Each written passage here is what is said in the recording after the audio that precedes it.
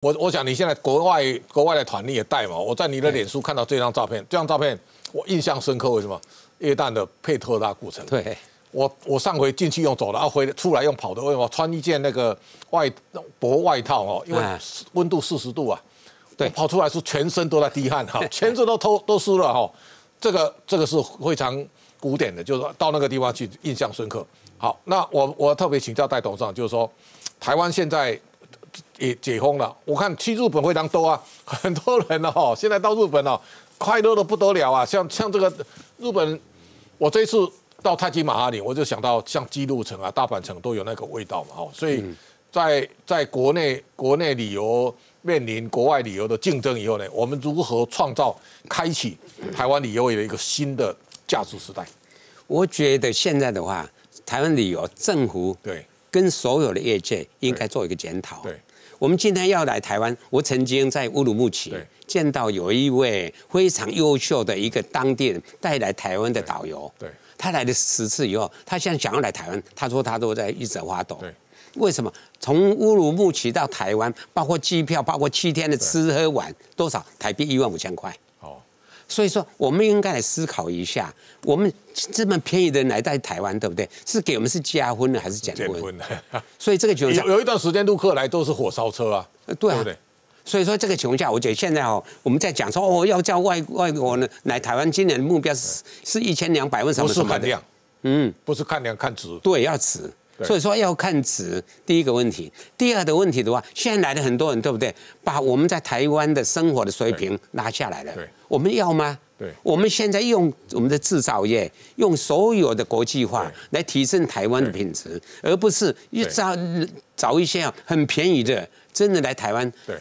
一万多，一万多就能来台湾玩。我觉得这个东西对台湾，我觉得政府应该思考，不要一直说啊，我们今年会有一千年玩几万，所以不应该的。第一，第二，到国外旅游的话，我讲啊，我做这个东西可能是我是古摸，所以我就整个跑，对不对？我们现在的话，以色列一带，全世界我绝对第一名。埃及我带了九次，我觉得第一名。所以很多地方，对不对？外蒙古。对不对？绝对第一名，我一直在创造这些的。可是今年呢，我觉得这个疫情以后，我觉得对还是错？所有业界今天以前的那一年就开放差不多一年嘛，大家都哦生意好的不得了，只有我生意不好。对，为什么我不去走那些抢着低价的？对，日本五天一万九，怎么办呢？对，所以我觉得那不，我还是要维持着，因为我们正常情况下，我觉得应该。正常合理的一个把它如何提升，所以这个情况下，我觉得台湾应该这么走，不应该是一直用价格来出国，用价格来拉来台湾。我觉得这是应该考考虑。这个戴董，这个是要给交通部观光局啊、观光署很重要的思考，就是不要冲量了哦，要充值啊，对，用值来带动台湾的旅游。好，这个高值化的旅游的品质，我想。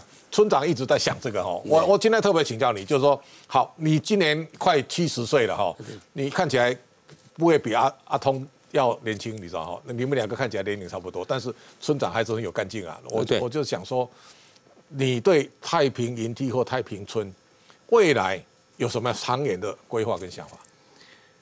我们太平，我把云梯把每一个点就变成一个舞台，所以我们太平云梯。最近我们要办理呃婚礼，星光下婚礼，然后要办理国际的服装秀的做走秀，走在上面服装公司，对，然后跟戏曲学校来做我们的户外剧场，对，然后我们也希望结合太平的各项的那种地理优势，来创造七碗茶那种地景艺术，像日本一样的。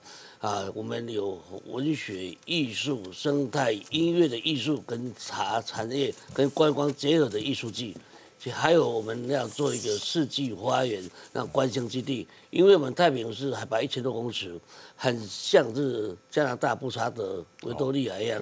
我们今年水保局会给我们这样的经费，另外还做一个蕨类基地，因为太平有十条山沟，我们会跟林路局、跟我们阿管处来合作。把那个整个蕨类在做呼吁、在培育、在展示，未来就是一个环境教育场所。是，我也想希望让太平有其他的一些户外的体验措施，包括车路、包括露营、包括户外活动、降落伞等等。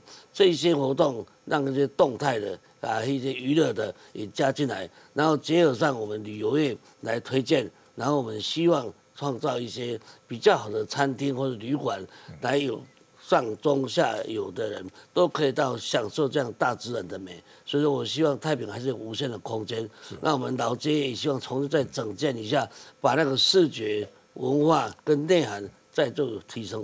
好，村长所到所到之处哦，没有一个不用心的，这个不容易啊。这个这个跟我们戴董事长一样，我看你的脸书里面写，他说我修了一百个 EMBA 的学位哈。对，这十年对你来讲哦，从制造业到了旅游业，我相信因为理由而。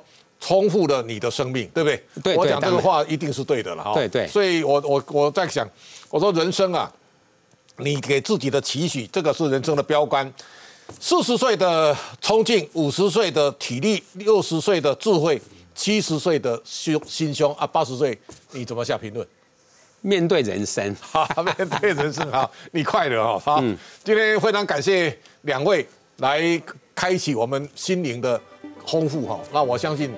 在旅游的世界，这个人生，这个只为了要一直在玩哈啊，找好玩的食、好玩的景点、好吃的食物，然后那个好朋友大家一起畅饮，我想这个是快乐人生的一个很基本的元素。